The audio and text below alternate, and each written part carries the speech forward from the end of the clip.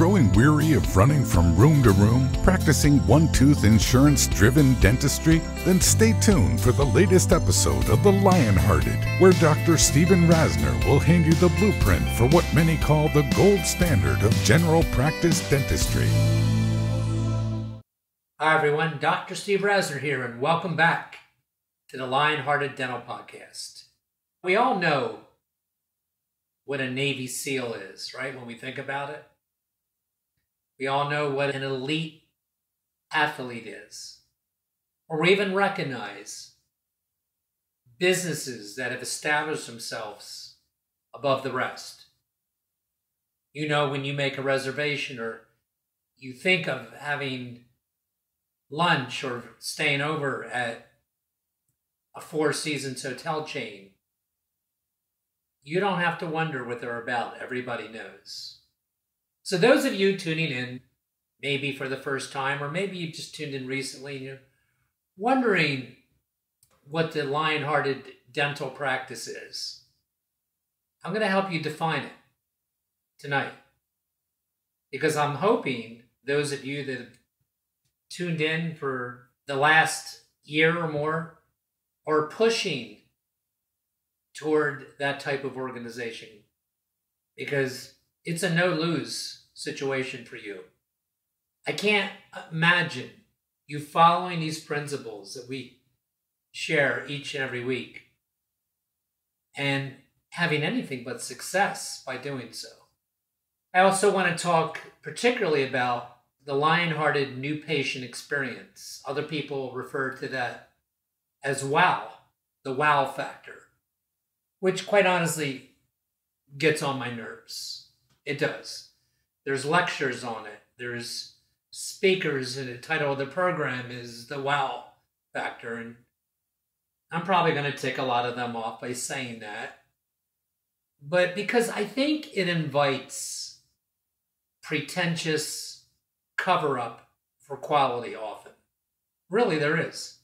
And listen, I have to back off before I go off on one of my things and say, look, anybody that tries in earnest to better their organization is doing good stuff.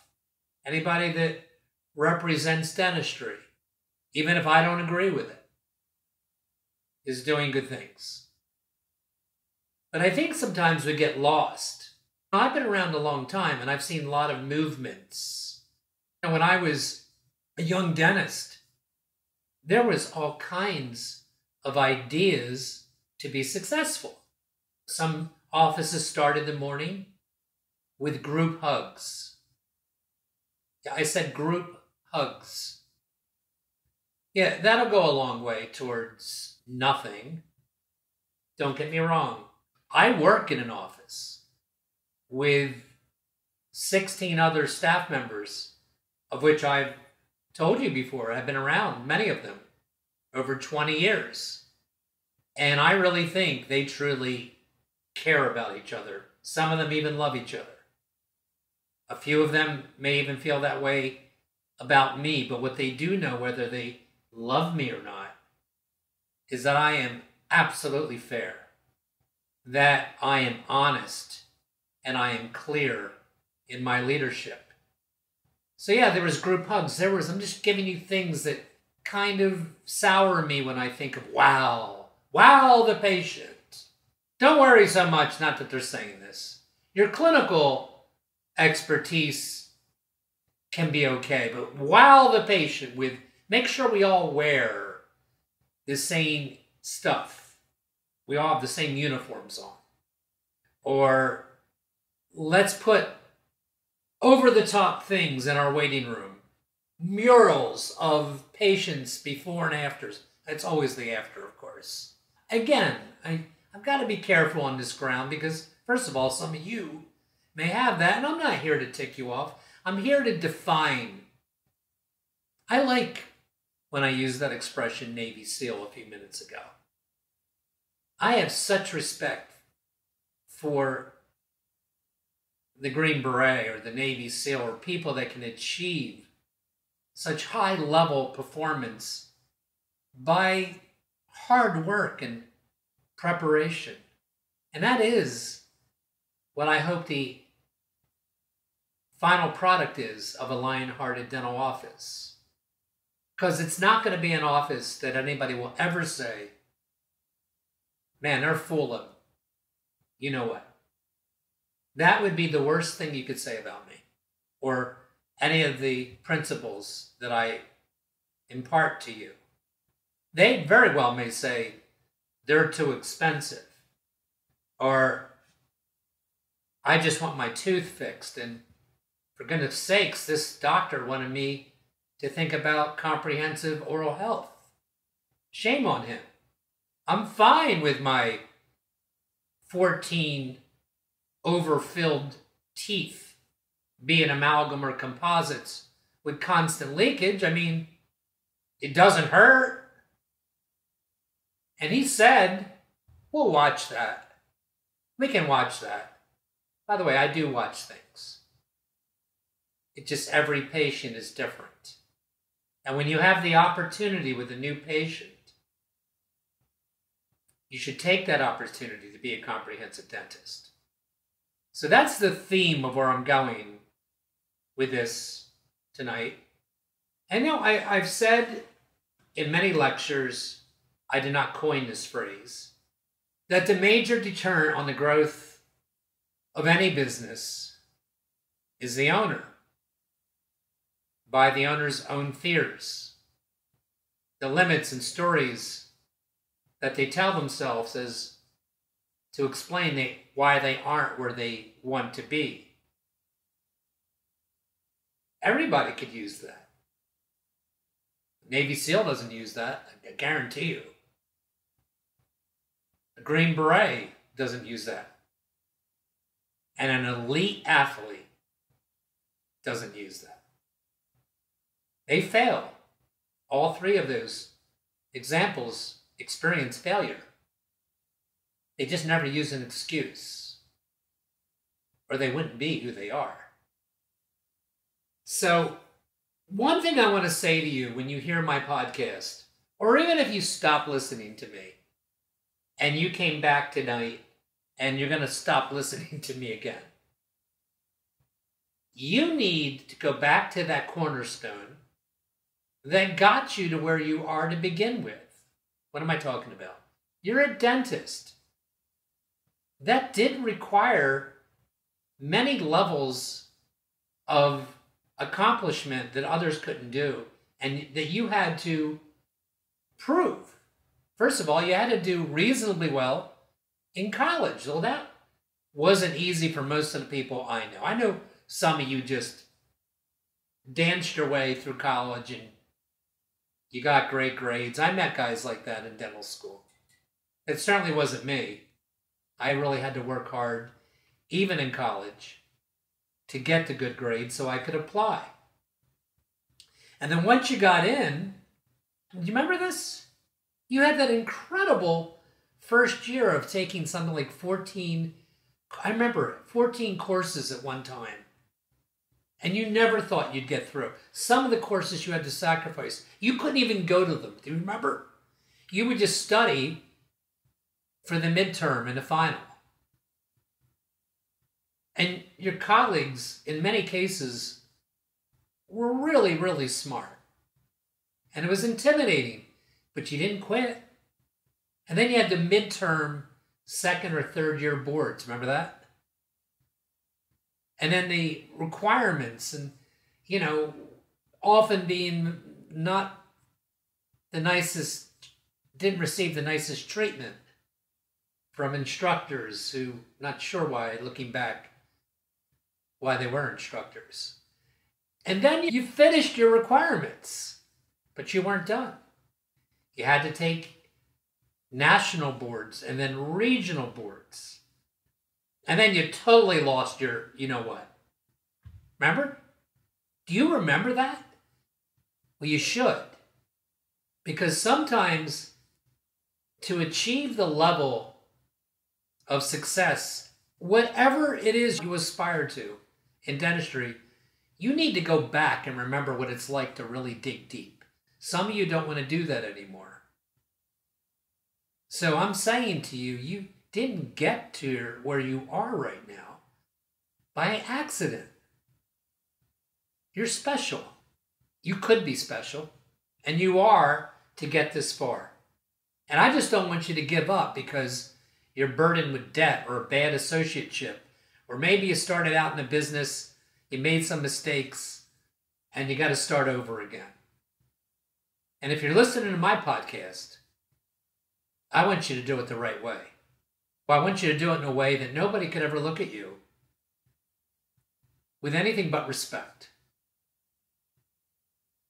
You know, there used to be a clinician, a dentist, a very successful one, about an hour from me that was very well known. He had his own radio show. And this guy was a specialist, incidentally, board certified in more than one specialty. How about that? And I've heard this about other practices before, but what I remember about him is that he was known for sending limousines to pick up his patients. Maybe not all of them. I don't really know. But I know he did that. Sending them roses, particularly if there was a problem. Again, I know this for a fact. And would often work in his office to really unusual hours. And I think we've all heard stories like this. And here's what I want to say about that. If you can do all that, and you can be profitable by doing that, and you have an outstanding organization that keeps its promises, and that you really truly are a clinician in a higher percentage of what we all would consider elite. And you got that way by training.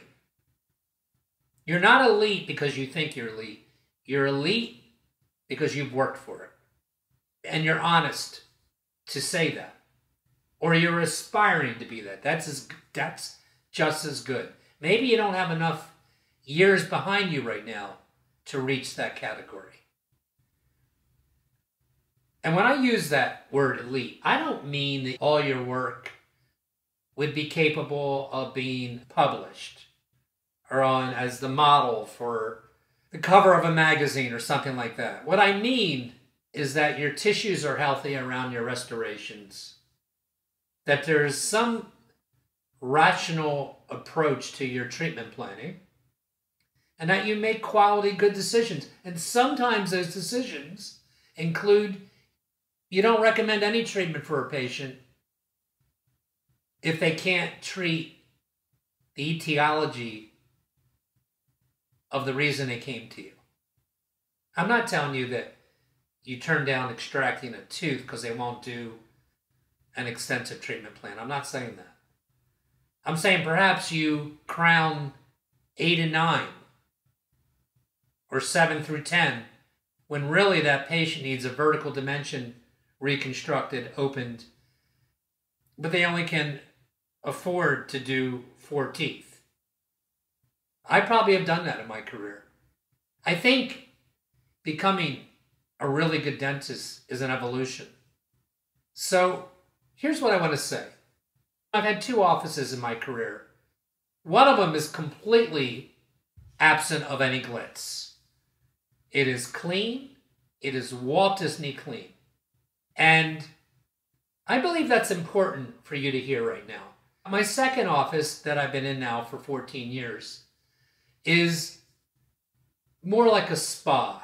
Certainly, there are many, many, many offices that are more glitz to it than my office. And I don't know, I don't have a, a the final say on what your reception room should look like, except your entire office should be immaculate. That is what becomes important to me over the things I'm struggling to find in my words right now, but I've alluded to, to glitz, to fluff. We have quite nice refreshments in our reception room, which have kind of been a parenthesis since COVID. But prior to that, and maybe starting to become more of an item again, we have an, a refrigerator, lovely refrigerator, a little tiny area, but loaded with quality snacks. My refrigerator doesn't just have water in it, it's got juices and things like that. And it's so much so that a lot of the seniors pocket many many of the snacks on the way out. It's true. And I always remind my team that I used to buy flowers for my office every week. And that's okay as long as you are part of an organization where everyone understands the power of a handshake, the power of looking someone in the eye, the power of a smile, the power of asking somebody how they're doing and waiting for the answer, not blocking them out just because it was polite to say, "How you doing?" Do you hear me? The power of a front desk team that calls people back within an hour because you have a protocol for that. Whether you have a problem, I'm talking about a patient that called in with an unexpected issue that you weren't prepared for, of course. So they called in, a temporary crown's out, a permanent crown's out. And an organization that has protocols for all of these things. And again, I don't even know if I have enough books left in my stockpile to sell you if you wanted them or not. But 15 years ago, that is why I designed the protocol book. I didn't design it to sell my colleagues, which I ended up doing. I designed it so that my team would all be on the same page, that we understood how to handle these things I just started to allude to. Like, how do you open your office every day? Is it random? Sometimes, I know it sounds trite. Sometimes the radio's on, or sometimes around 10.30 you got to remind the front desk to put the radio on. Sometimes the snacks are out, sometimes they're not. Sometimes you check the voicemail on your phone when you walk in, and sometimes you don't. That would be not having protocols. You don't know how to answer a patient, perhaps, with a problem with billing because Susie, the billing person, is out this week because you never learned the power, the lion-hearted principle of cross-training your staff. Because no one wants to hear when they call in for a situation that somebody's out, they'll get back to you. I know it can be overwhelming when I put it this way. It's not overwhelming, it takes systems. And that's what you have to work on in 2022 and going further. When you do it all the time, it doesn't seem overwhelming. Again, the point of tonight is to accentuate what I'm trying to motivate you to be in your own dental organization. That I'm kind of offended by fluff and glitz. I've always said it doesn't, I don't think how beautiful your office is anything related to uh, case acceptance or longevity of a patient. The hygienic aspect to your office certainly is. You know, it wasn't last week that I would stop with my staff and, and look, you can do these things proactively and as a takeaway. That's what I always say to them. I'll call somebody and say, listen, do me a favor. Go back into this room, look at it. Look carefully at the floor. Now, maybe I was looking at a two by two sponge barely tucked away in somewhere where it would be hard to see, or a, some type of wax that we dripped on the floor, or something that didn't look acceptable to me. That's my eyes seeing it after 40 years. And I need a team. And some that does the same. And so do you, by the way. You not only need a team that does that, but you need a team that doesn't bring attitudes or baggage into your house. That just doesn't work. If you have somebody that is great for three weeks out of four, or to be quite honest with you, is great nine months out of the 12. And that person's probably fantastic in what they do. But in your office, it's like a Broadway show. I'm sorry it is. And it sounds ironic with everything I'm saying to you because I just said glitz and over the top fluff that doesn't back up anything. We used to give everything I tell you comes from experience. So my sister-in-law makes these little beautiful gifts that I don't know, they cost about $30. And we used to keep a bunch of them under the front desk. And we would give them out whenever we screwed up. And sometimes we gave them out in the beginning of a case. Like we would have gotten a case of significance. And we would, at the end of that visit, when the patient was walking out, we would give them a token gift. That's me telling you this. That's why I'm talking to you right now about this. And that, that is reprehensible to me. Giving gifts is a wonderful thing. If you do all the other stuff, do you hear me? If you give a gift, you know, we do a one day, one week, and one month follow up on large cases. So, again, if you're hearing this for the first time and I'm overwhelming you, or you don't have a pen near you, gosh, I just heard him say he gives gifts, and I don't know how does he do that. When does he do it? How, how where does he get those from? And you know they are. They cost me about twenty five dollars, thirty dollars, and I buy twenty of them at a time. We're only allowed. They don't have to ask me for permission, but we're only allowed to present that with someone we've earned that with. And you didn't earn it the day they walk out of your office with the crown and bridge case, the implant case, the all on whatever. You've earned it after a month. If they've been back for a couple adjustments and they're really happy, you know when a patient's really happy. Come on. That's when you give the gift, not when you screw up. And I used to preach what I just said to you. And I would justify it by saying, you can't always be on. And you can't. Because we're all working around we're all part of something called the human race and we all make mistakes, right? But do you have systems? And I'm going to end this by telling you how to do that. Number one, your three goals as the doctor that would fit the Navy SEAL slash lion-hearted dentist would be be a great clinician first. Now that's not enough, but that is everything. And the only way to be a great clinician is to train to be a great clinician. There's many great clinicians, far better than myself, that do not have success that they want because they're bad communicators. So you also have to be a great communicator. And that's a skill every one of you can acquire. You just have to want to acquire that skill. You have to listen to yourself when you're talking to your patients, when you're talking to staff. Sometimes there's literally courses on there, abundant courses on how to do this. And then you have to you have to commit to being a comprehensive dentist.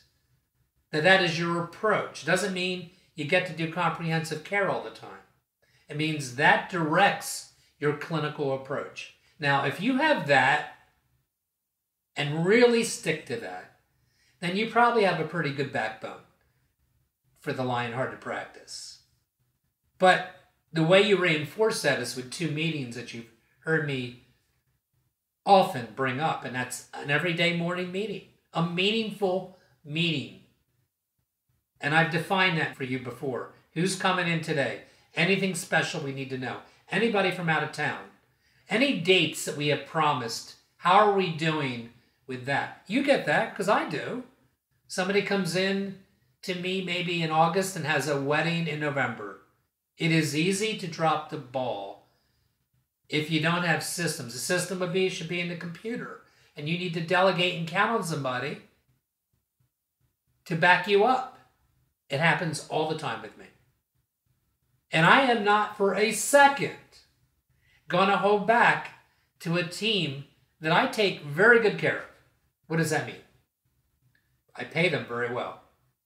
I'm incredibly flexible with changes in their schedules that they need. Sometimes those changes take a year. A hygienist who's pregnant, who wants to raise her kid for six months or a year, and then come back. That's not easy. It just happened. She's just back, one of my hygienists. To practice in a place. That's a Lionheart practice where you don't have to worry paycheck to paycheck if you have enough money for the team. A place where it's palpable that the patients want to be there. You're not talking them into stuff. They want to be there. Where the disappointments are minimal and delivering more than you promised is more common by far than disappointment. I know it's kind of a philosophical approach tonight, and I also know I'm at 28 minutes. But I felt the need to say that to you, and you can reach out to me and you can send me some bad email or good email. But sometimes I talk about success in terms of dollars and cents, and that would be misleading of what the lion-hearted dentist practice is about. I'll say it in closing. It's an organization that you put together that the people there, it's probably no, wouldn't take you a second to wonder if the team really wants to be there. That the patients you see each week are almost proud to be part of your patient family. And that you take very seriously your role as the owner of the practice, as the employer of the people that you employ, and as a part of the community in which you practice, and you're a part of that community. Thanks for joining me this week. I hope this resonated with some of you, and I, I know it's probably getting this right after Thanksgiving, so happy holidays. We're not done yet. We got a lot more to talk about. Thanks for joining me.